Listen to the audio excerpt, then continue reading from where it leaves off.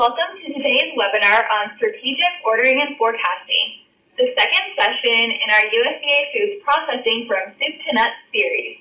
And now we have two polling questions to learn more about our audience. Our first polling question is, in which region are you located? And it looks like we have people joining us from all throughout the country today with the most tied for Northeast and Mid-Atlantic with about 24% each. And now our second polling question, where do you work? And nearly half of you are coming from the school district level today, followed by state agencies at about 20%. So we're glad that all of you could join us today, and now I would like to introduce Peggy Canto, who will be providing an overview of today's presentation. Peggy is the branch chief of the Child Nutrition Operations Branch here at the USDA Food and Nutrition Services Food Distribution Division. Good afternoon. We're here to discuss a subject that is very near and dear to the hearts of those in Child Nutrition Operations Branch. In our branch, we have the order managers that monitor the orders submitted by the state, as well as work with the processors' monthly performance reports, reporting inventories and reconciling their inventories. All of us are working towards the goal to ensure that states fully order and utilize their entitlements on behalf of the school districts and that it be available on an equitable basis for all the school districts, this important asset. We also have the goal of keeping the inventories at the processors in a reasonable level and to ensure that they are utilized fully within the school year within a reasonable time frame. Our goal is to ensure that all products flow through the system, whether commercial purchases, direct delivery USDA purchases, and processed products move through the system quickly and seamlessly in a cost-effective manner.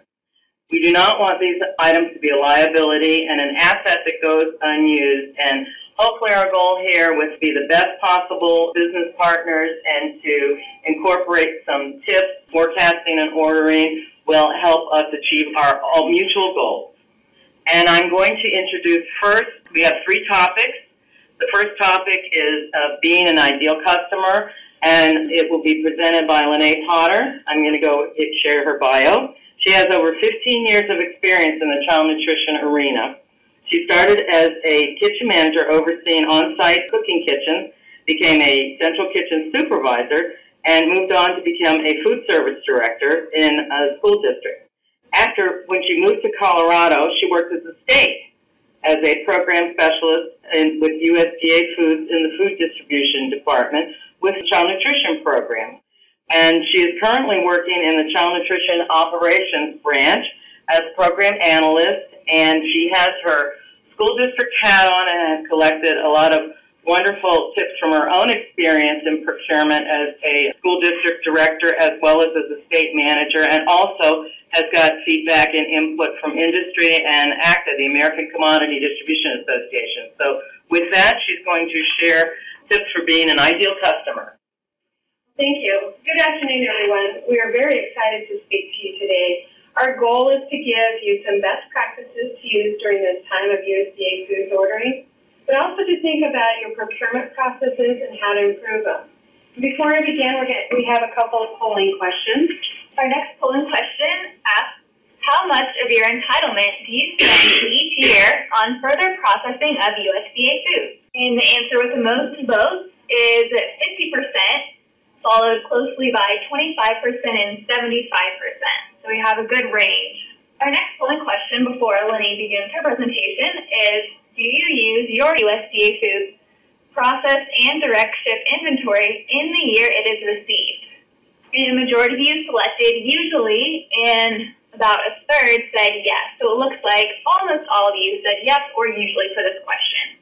So the title of our webinar today is Strategic Ordering and Forecasting. With strategic ordering and forecasting, one can become an ideal customer.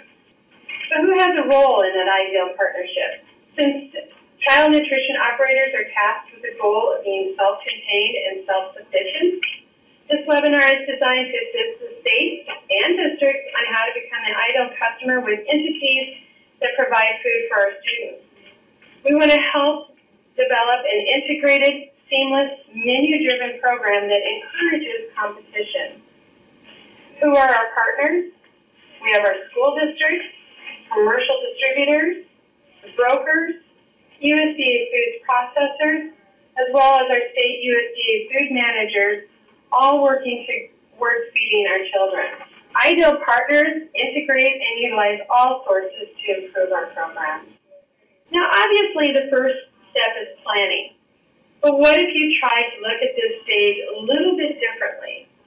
What if you treated your food service department or state agency like a small business? As food service directors, we are given the task to be self-contained and not encroach on the general fund. I know this because when I was a food service director, my department had to receive money from the general account for over 10 years before I was hired. They gave me one goal, to run my department in the black. So what is the difference between a small business and running a food service department in a school district, or serving the school district as a state agent, or even purchasing the USDA foods at the federal level? There's really not that much difference. So I started doing a little bit of research just to kind of look into what it takes for a small business. I came across the United States Small Business Administration, and they had a blog titled The 10 Benefits of Business Planning for All Businesses. Now, I'm not going to go through all of those 10, but they could be incorporated into our program quite easily.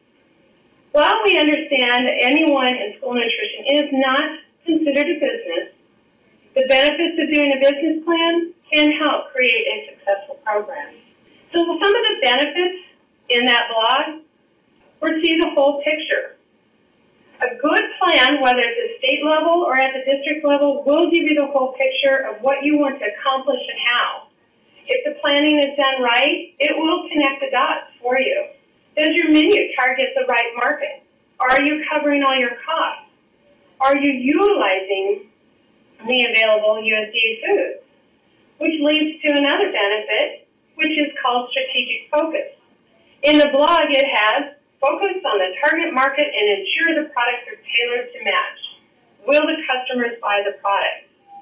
Have you tested the USDA foods to make sure these students want those products? A big benefit is that it's easier to manage change. Regularly reviewing your meal counts track progress and comparing your plan with actual analysis is critical for forecasting and ordering. With a good business plan, you should have production records in place to see if the actual counts are what you forecasted, and if not, why. If a product decreasing in count, do you need to find a new product to replace it? Do you have a commercial product available if you run out of USDA foods equivalent? Have you worked with your USDA vendor on the changes that you need? As a state agent, are the balances decreasing at the processors?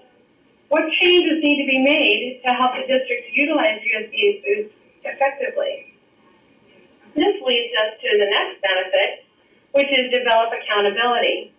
It helps set expectations and track results to ensure you are utilizing all your USDA foods. Are your balances at the processors being used efficiently? Are all direct delivered USDA foods on the menus? And have you balanced your direct delivered product with your processed product? If your plan is to send cheese to a processor, have you decreased the amount of direct delivered cheese to account for that that's coming from the processor? And then, of course, another benefit is to manage cash, which in our case is entitlement. Are you utilizing all of your PALs? State agents, have you allocated all the entitlements and do you offer other options throughout the year to give the, the district opportunity to utilize their entitlement? And districts, have you ordered enough products to send all of your PAL? Once a plan is in place, how do we use that to become an ideal customer? The plan will assist with forecasting, which is a key to successful procurement, which is the key to a successful program. A good business plan will assist school nutrition programs and achieving that successful, self-contained, self-sufficient program. So let's go over some of the best practices that ACDA has developed for forecasting as well as for procurement. Florida and Texas will also relay some of their best practices that they are using, and there will be more information available at the ACDA conference in May, as well as at ANC. Best practicing when planning is develop your menus plans well in advance.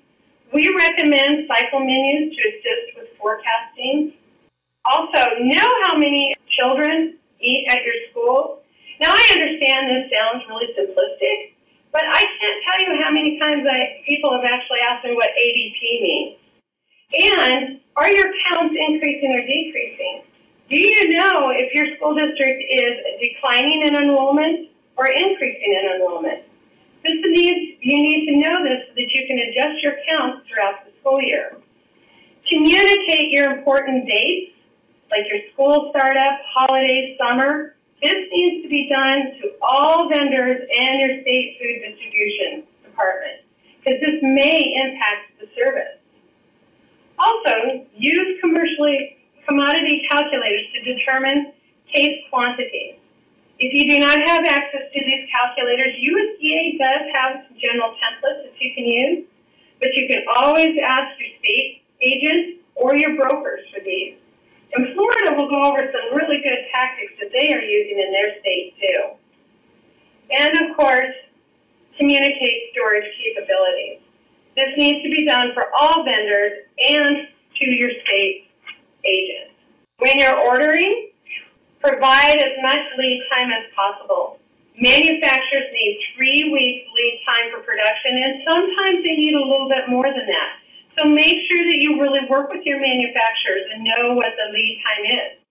And remember that distributors stock two par levels, so order your quantities agreed upon through the bid or your contract price. Have a backup item ready in case an issue arises and always communicate your discontinued items. The next best practices is once you've got all of the planning and that, now it's time to modify. Communicate increases and decreases in quantities of plus 10, minus 10%. Discuss any changes to the program with distributor, broker, and processor. So if for some reason your breakfast in the, your breakfast program is now going to do a breakfast in the classroom program, make sure you talk to your distributors and your brokers because those counts will go up once you change, make that change. And communicate desired timelines to add new items and whether this will replace an existing item. But keep in mind, does this impact quantity commitments? And are you still honoring the commitments with your processor? So you can see all of these best practices and all of those benefits that I first mentioned work really well with the child nutrition level. It is a continuous process which occurs throughout the whole school year. So now that we have the best practices for forecasting, now it's time to learn some best practices in procurement. Planning is always an advantage. You're going to want to develop the menus, and of course, we recommend cycle menus so that you can determine those estimated usages. Also, determine your minimum quantity to purchase. Processors like firm commitments.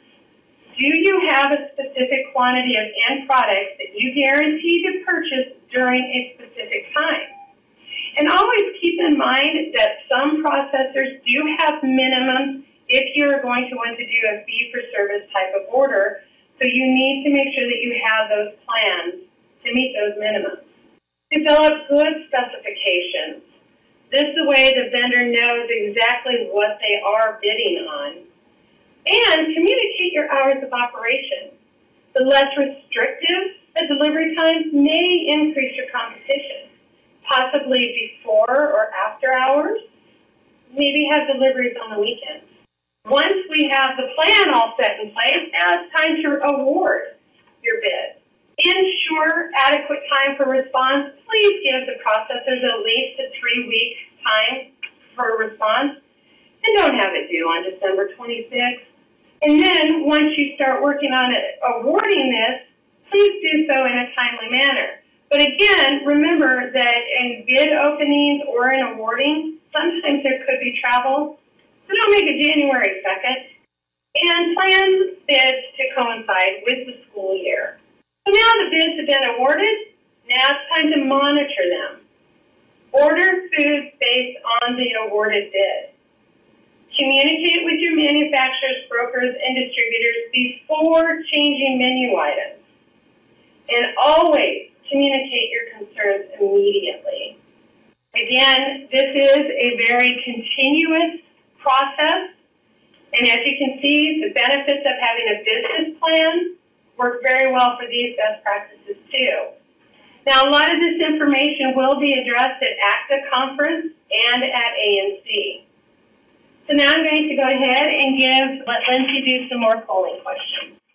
Thank you, LaNae, for sharing all those tips for best practices with forecasting and procurement. We now have three polling questions before we turn the presentation over to our second speaker. The question is, do you use cycle menus for any of your programs? About 60% of you said yes, you do use cycle menus. Our next question, how often do you access the available third-party processor inventory tracking system? Close to half of you selected monthly. And our last polling question for the moment, when purchasing commercial food, how often do you compare your commercial order to your USDA Foods direct ship and process inventory? The most popular answer, about 42%, is as needed, followed by weekly, then monthly, and then never. And we'd like to welcome Christie Meresse she is from the state of Florida and serves as the Assistant Director within the Division of Food, Nutrition, and Wellness at the Florida Department of Agriculture and Consumer Services. Over the past eight years, she has worked in a variety of capacities within the USDA Child Nutrition and Household Program, assisting participants with the National School Lunch Program, USDA Food, Procurement, the Emergency Food Assistance Program, and the Farm to School Program. Christie holds a bachelor's degree in criminology from Florida State University and will graduate in August with a master's degree in public administration from the University of West Florida. And she is going to be speaking about data and inventory analysis and provide you with some tools and concepts. Thank you for the opportunity to speak with everybody today. I know we have a pretty large group of attendees, so I'm excited to be able to talk to everyone about what we're doing here in Florida with regard to data and inventory analysis. Here in our state, we've been working for the past year and a half on a study of the food flows in Florida, specifically relating to USDA foods, but also now expanding into all food related purchases, whether those are commercial purchases, produce purchases, and anything like that.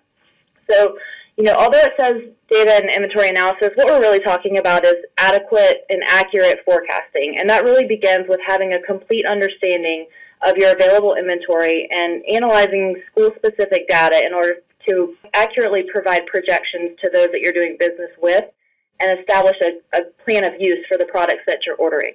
The slide that's up on the screen is really just a visual representation of what we're trying to accomplish. We're looking to bridge supply and demand, and it's really important to take information and data from both sides, whether that's your menu, your consumption patterns, your inventory, any substitutions that you're doing throughout the year, all of that is going to help you accurately forecast the products that you're going to be using.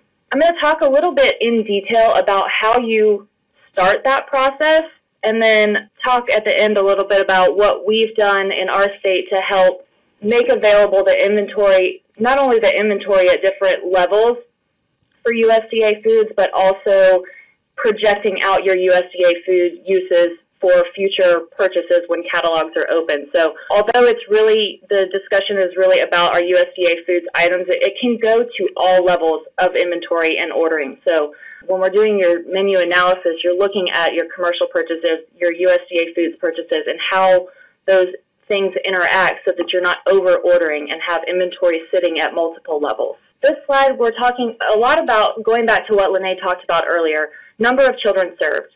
So how do you do that? Your starting points can be your point of sale data, your meal claiming systems, or your production records, and looking at that information and really understanding how many students do you have in your school, how many are you actually serving, what are your participation rates.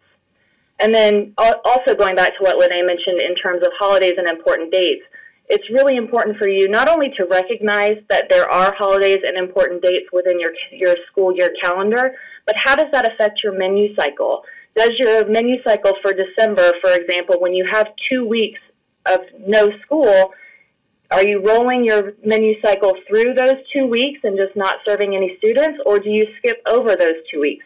because what that's really going to tell you is what you need to be ordering based on the menus that you have created for the, your entire school year. So it's really important not only to understand that there are important dates to think about, but how they affect your menu cycle in terms of your consumption and your projections for future orders. So for forecasting of your number of servings and portions per menu item, a lot of times what we tell our school districts here is when you're creating a menu, it's really important to put the information not only of total servings, but how that's going to be split out amongst a specific menu for a specific grade level on a specific day. So if you're looking at the slide, um, you want to split your menu forecast accordingly, and a, additional serving adjustments should only be done at one level. So what I mean by that is if you look at the information presented here, this is one day's menu for, let's say, um, an elementary aged school. So you have your item number, your manufacturer item, and then your description of that product, and then you have what we're calling our splits.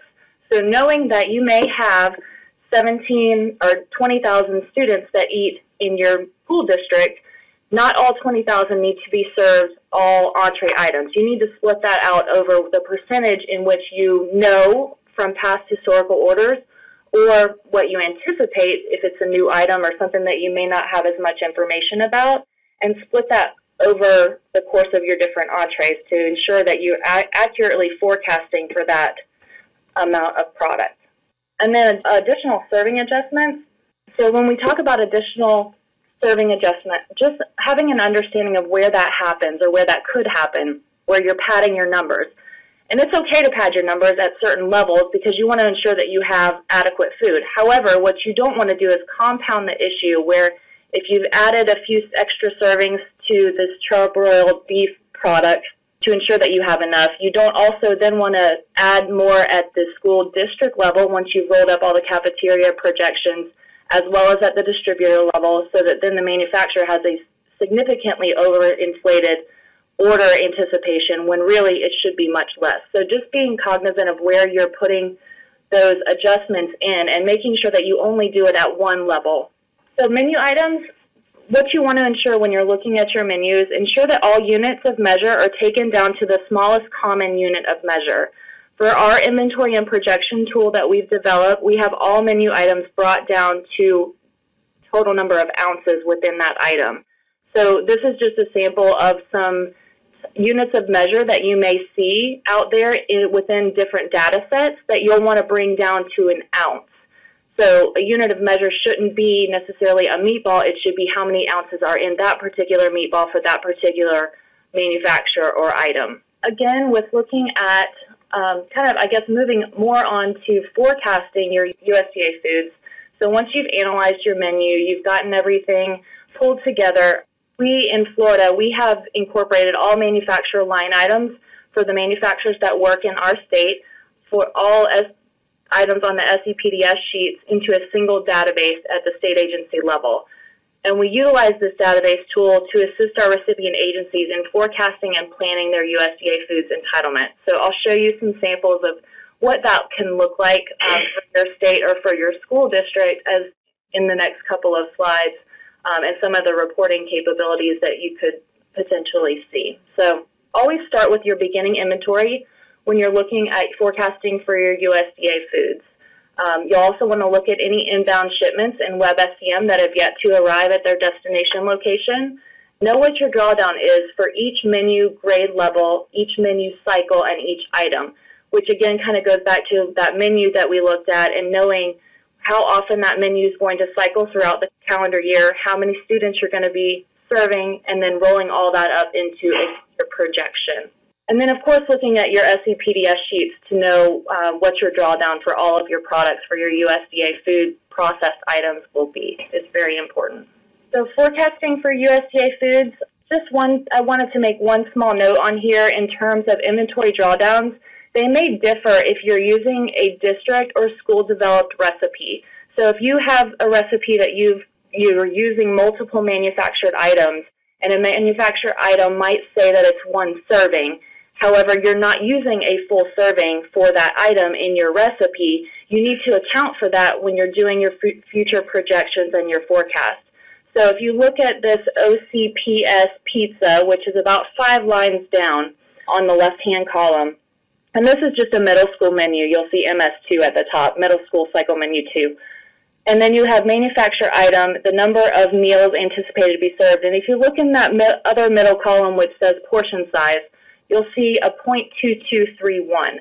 And basically that's all that's telling you that this pizza does not require a full manufacturer serving of that item in order to meet um, the recipe needs. So you want to account for that so that you're not significantly over ordering that particular item based on the manufacturer's serving size versus what you actually need in that recipe. So just something I wanted to mention as you're developing recipes in your school districts and looking at the SEPDS sheets that it's really going to depend on what your school district is doing to make sure you're accurately projecting what your needs are. So in the next couple of slides, I'm just going to briefly talk about our inventory tool and what we have in our state that helps our recipient agencies understand what USDA foods are available for them and what their balances are. So if you look at the left column, it identifies the manufacturer and the and then your WBSCM item number, your WBSCM description, as well as your carryover pounds for this particular school district, your school year allocated inbound pounds, school year available pounds, which is just a combination of the two prior columns, a total year-to-date usage, and then a balance for those items for each manufacturer for each product. Again, just another report that we pull together for a particular district so you can see all of your cheese from different manufacturers at one snapshot. So again, looking at this specific district, all of the different cheese items, all of the different manufacturers, the item numbers, and the product itself along with the total total pounds. And like I mentioned, inventory visibility is really important in your in projecting out. So understanding what you have before you place orders is extremely important, especially with USDA foods, so you don't sit on large inventory balances sitting at processors or sitting in state, contracted or SSA contracted warehouses. So the final one that I have is really just showing a state agency perspective to look at a who a manufacturer is, what item number, I guess looking at the item number here and then the type of product that it is and what county it actually belongs to, whether it's in our state account, whether it's in a specific school district account, and what the pounds are so we can have kind of a, a single snapshot at, of that. All of this basically rolls up to our final USDA Foods ordering projection tool. And what we're looking at here is just combining everything that we just talked about, all the way down from your menu and analyzing those menus to ounces, looking at how it affects throughout the school year, how many servings you're going to be doing throughout the school year on each cycle menu, and rolling all of that up for all schools within a district into a total projection that you could put into your USDA Foods catalog orders when they become available. So right here what we're looking at is just your starting inventory for a particular processor for a particular item, starting inventory, and then just projecting out how much of that product you're going to use throughout the school calendar year.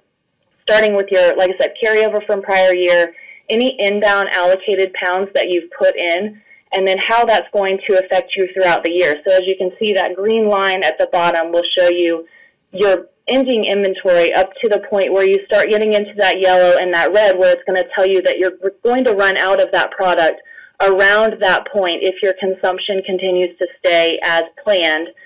And then also letting you know if you need to order more of a certain product, if you're going to have excess of a certain product, just so that you can make better determinations on utilization of your USDA foods. And also just to let you know as well of when you might go into having to buy something commercially versus using a USDA food if you don't have any more entitlement available, any more pounds available from your account. So the final slide that I have just talks about the overall process for accurate forecasting. And basically what you're wanting to do is increase your process knowledge, know what you're what you need to be looking at in order to have an accurate forecast as well as increasing the level of detail in which you're determining your menu needs, working with and communicating with your dietitians and your nutritionists and those that are developing your menus, as well as those who are ordering your food. So that's really important. And your suppliers, having really great supplier partnerships and communications. So just increasing that detail, increasing your process knowledge, understanding how the supply chain works, and really leads to everything in the right hand column with procurement efficiencies, cost savings, reducing waste, having more money available for to promote your local farm to school programs. Again, like I said, all of those together really make for a great forecast for those that you're working with. And now we have two more polling questions. And about three quarters of you selected yes. You do provide good estimated quantities. And our next polling question do you commit the quantities to order when you award a contract for food purchase? About 60% of you selected yes, and about 30% no. Elizabeth Gonzales from the state of Texas uh, will be following up with more planning tips and concepts. Elizabeth is the director of the commodity operations for the Texas Department of Agriculture in Austin, Texas. She oversees all the food distribution programs and the WIC Farmers Market and Senior Farmers Market Program. Elizabeth has been a member of the ACDA Processing Committee and is currently serving as the Southwest Regional Representative on the ACDA Executive Board. Elizabeth has shared some Texas fun facts for us, and she wants us to know that the first word spoken from the moon on July 20th, 1969, was in Houston at the Air Space Center. Another fun fact, Texas comes from the Hasinai Indian word, Tejas, meaning friends or allies. Thank you for those facts. Come in handy with trivial pursuits. Go ahead, Elizabeth. Great. Thank you, Peggy, and thank you for inviting Texas to be part of today's exciting webinar. Uh, today I'm sharing information we have presented to schools in the last several years regarding best practices on planning their requests. From this presentation, you'll see that we are consistent with the message we just heard from USDA headquarters and Florida. Uh, we ask schools to plan their requests by first ensuring that their USDA foods are incorporated into their menus. If the person ordering the USDA foods is different from the menu planner, be sure to incorporate a process for the two to communicate with each other. We also ask schools to review their line items, be versatile in the products that they are requesting as USDA foods. For example, ordering an item such as chicken fajitas, whether they're regular or processed, allows a school district to serve it in several different ways, increasing their menu options. As we point out in this slide, a school could take chicken fajitas and make it into taco salad, fajita tacos, quesadillas, or fajita rice bowls. And the same could be said for beef crumbles. It's also an item that's very versatile and can be used in several different menu ways. And coordinate regular, processed, and commercial purchases. If the USDA foods and the commercial purchasing duties are separate from the district USDA foods manager, have them work together to coordinate and forecast all of the food purchases. This will help the district become more effective in their overall planning and forecasting process commercial processed, which is your finished end product, and regular, which is your direct ship USDA brown box, uh, should be well integrated and complement each other and not be redundant. For example, order commercial products and local items or fresh items in conjunction with your USDA assets to ensure all inventories rotate and keep moving through the system consistently. Uh, this way, you won't stop ordering a commercial or, or bulk processed finished item or hold a USDA direct item in storage because you have the other identical item in stock already. In this slide, let's take a look at potatoes that's in the first line item. This is a great visual on how a district might become redundant in their ordering process if they don't compare all of their food purchases as part of their planning process. For example, a school might order potatoes as a commercial, processed, and regular items or through those channels. So be sure to compare all of the types of products you might be purchasing through these channels to avoid over ordering any of these items. Same for your tomato products. Be sure to compare anything that you might be buying for those as a commercial or processed or regular and making sure that those aren't redundant as well. Procurement, forecasting, and solicitations. In Texas, the most recent communication we provided to cooperative leaders here in Texas and schools has been with regard to including quantity in their solicitations. We held a meeting with the cooperative leaders and gave them a general procurement overview, with forecasting being a hot topic of conversation. Since that meeting, we have had uh, many follow up conversations, not only with the co op leaders, but schools and industry as well. So why include forecast or include quantity in your solicitation? Well, as you heard from USDA, forecasting is a key to a successful procurement process and accurate ordering of your USDA food assets. Including quantity is also a standard practice in the commercial world. So it's important to sync your commercial and USDA food purchases or processes to be consistent as much as possible. Uh, and it's also part of the procurement and ordering process. Uh, forecasting requires you to plan and project your request for further processing along with your regular USDA food items. Knowing your estimated quantities provides industry with an estimated amount of volume they can expect schools to be ordering from them in a given year. The estimated quantities also helps industry with their production plans and reduces uh, shortages or any potential shortages if they have that information ahead of time.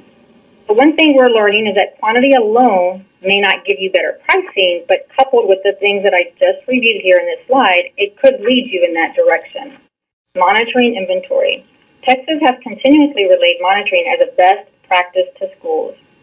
To piggyback on USDA's message, being an ideal customer involves monitoring your existing inventory, which means accessing the third-party tracking systems that are available to you, including monitoring your existing inventory you might already have on hand at your district or at your state contracted warehouse. A district should incorporate monitoring as a routine process to ensure they're not ordering the same item they requested in the prior year, or at least verifying that the current balances are not excessive so that you don't overorder an item that might have a high balance or low usage. In other words, don't just order the same item and quantity year after year without looking at your current usage and your inventory imbalances. Incorporating this process should help minimize carryover inventory from one year to the next. And monitoring is also important to ensure that you're ordering and using the products that were awarded for further processing. As you can see at the bottom of this slide, Texas has a policy that allows carryover, and many states have implemented similar state procedures in their states as well. And Texas previous year carryover balances must be used by the end of November. Otherwise, the unused balances are swept from their individual accounts and moved into a state account and given to other schools to use, or the inventory could be used to fill future orders. In Texas, we definitely definitely have seen this sweep policy as a great motivation in having schools implement better planning of their USDA foods. So as a best practice, and just to recap the best practices that I just mentioned, it's important to forecast to order appropriately and using inventory timely, an ideal customer as USDA mentioned in their presentation. I'm now going to turn that over back to USDA. Thank you so much, Elizabeth, for sharing all of those best practices from the state of Texas. And we will now open up for questions. One of them is, what is the best approach to ordering timely? And I'm going to let LaNae respond to that.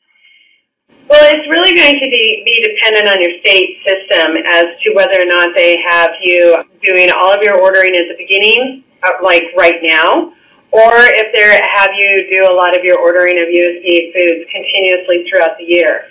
However, the one thing that you do want to keep in mind is that we really ask the states to spend about 100, 105% of their entitlement, and by the by September, most of that entitlement has been spent.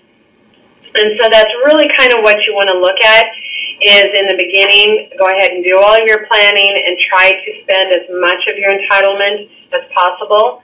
Um, just because towards the end of the school year, it is harder for the states to build big trucks. And so then you may not be able to utilize all of your entitlement. So right now is planning time. Get your, figure out what your USDA foods that you want to order. And I think we have another question. What is par level, and that was in the topic one. Yeah, that's what um, distributors, when they have certain products, they know a rough estimate of how much their customers are going to order, and so they like to keep those um, the par level up. So they like to have all uh, that many cases on hand at all times. So when you are all of a sudden ordering more or start ordering less, then that um, affects their par level. So that's really what a par level is. It's really what the distributor wants to keep on hand to make sure that they are able to fill all their orders. There's a who's responsible for enforcing the 48-hour receipt. that is on, there is a memo out there, and um, I can get that memo. I have that in actually readily available. Us as specialists, we will go ahead and run reports approximately five days after the delivery period to see if there are any or the orders that have not been received, and then we will contact the states to make sure that those items have been received. And a lot of that is because we want to see if there's any issues with the vendors or if there's any issues with the deliveries. There really isn't any enforcement. It's just that I know that AMS, they're not able to actually pay the invoices until they are received into WebSCM. So Yeah, but the- it's it's the receiving organization's responsibility to receive within the 48 hours. So the state needs to be responsible for that, but we also kind of work with you guys on it. Well, it depends on who's defined in web. The processor could- could be defined as the receiving organization. Correct. Okay, we have a question about the turkey balances, referring to Texas sweep policy and procedures.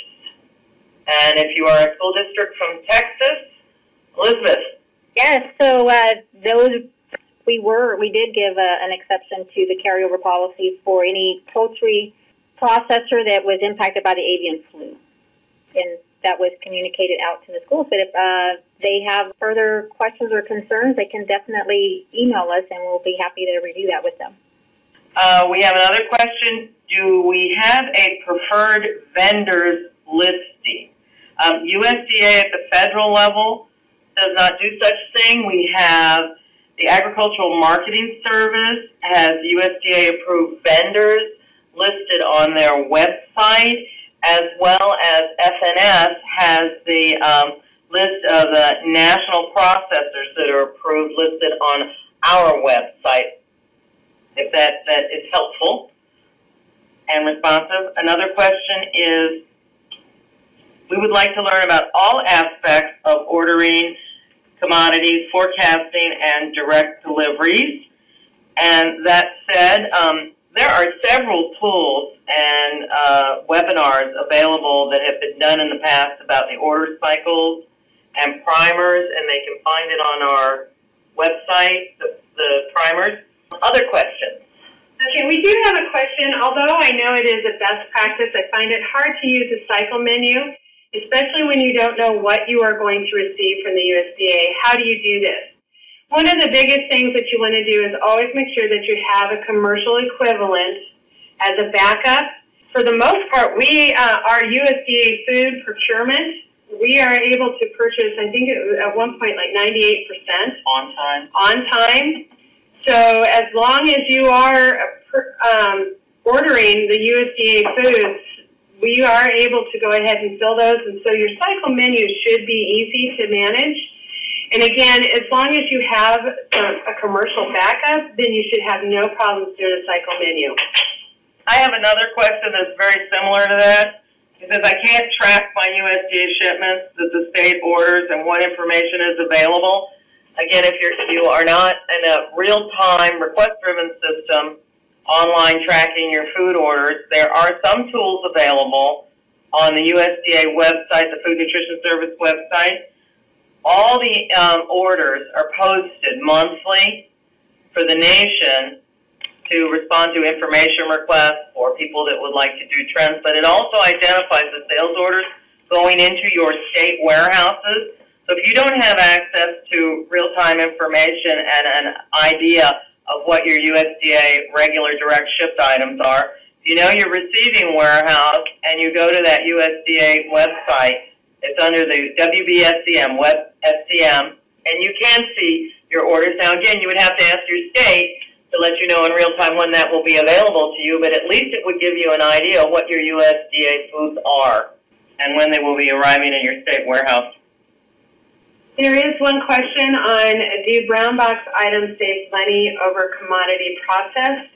Unfortunately, we are not able to answer that question because that's really state dependent. That's going to be dependent on what your delivery charges are for getting your de- direct delivery versus your process and how you have that come into your state. So that's really one of the things that you really want to look at is you want to compare the cost of what your distributor fees are going to be coming in from the processor and also what your distributor fees are going to be from your state warehouse or if you get it direct shipped. Those are just some things that you're going to have to look at on yourself. Unfortunately, we're kind of biased because we think most all of the products are really good as long as it's USDA foods. What are the best practices pertaining to RAs accessing pounds from a state account? Each state is a little bit different as to what they want. I know that as when I was a state person, I wanted um, transfer forms, and I wanted to be aware if it was coming from the state account, who it was going to, and why, and what it was going for. But I know that every single state has their own processes. Elizabeth? Yes, thank you for that question. Just as LaNae is saying, every state is different. In Texas, we do this year started sending out reminders all through October, letting schools know that the sweep was coming up. But if they know in advance that there is a situation that they have that's unique, that caused them to have inventory that they could not use by the end of November, they can certainly email us that and we'll take a look at it. And if it looks like it's a justifiable request, we will give them an extension. Any pounds that are swept into the state account, there is a process where we'll look at schools who, with the, let's just say, a particular process or inventory was swept into the state account. We'll look to see if there's schools that are currently that have zero uh, balances. They've used all their inventory, and they can use more to finish out the year. We can allocate that to them, or the schools can just simply email us, and we'll put them on a list to consider giving them some of those pounds. Our primary focus there is that we're looking to give those pounds to schools who need more pounds to finish out the year. They've, they've been really diligent in using their pounds effectively and then using those pounds to fill future orders if we don't have that situation. But communication is always the best factor there, even though there may be a process. It's just email us and we'll look into it. Okay, so do you have a philosophy of what gives you the biggest bang for your buck when allocating commodities? Christie, what do you tell your districts? I guess uh, it would depend on the context of the question, but I think really it depends on each school district and what they feel. We offer a lot of flexibility in our state, so we really want the schools to be able to select the items that are going to give them, you know, the most benefit for the school district and however they want to allocate that out, whether it's a specific type of product or a specific way to use their entitlement, whether it's DoD or direct ship or processed items. So I don't really have a great answer, unfortunately. I'm sorry, but it, other than to say, definitely if, if it's a school district asking or an SFA, that at the state agency level, we really try, and I can probably, I know Elizabeth as well, and I'm sure most most all state agencies really try to help our schools as much as possible. So just call us if you have any questions, and we'll be happy to kind of help you walk through that process. And we've got another question. 75% indicated that they have quantities on their solicitation, but it sounds like we are unsure if it will get better pricing. Are there any other tips to get better pricing? We are doing some research with industry and trying to peel that onion. And again, as I think Elizabeth indicated, the jury is still out on the impact of putting quantities on the solicitation. Many people in the industry refer to this as basically solicitations are fishing licenses. I do understand that there are issues, and guaranteed minimums are also one way to encourage competition and potentially get breaks in pricing. We're going to be, again, continuing to work with industry to develop specific practices to ensure competition and ideal pricing. Long-term contracting and guaranteed minimums are, are one strategy that we've been hearing from industry. Thank you very much for participating this afternoon.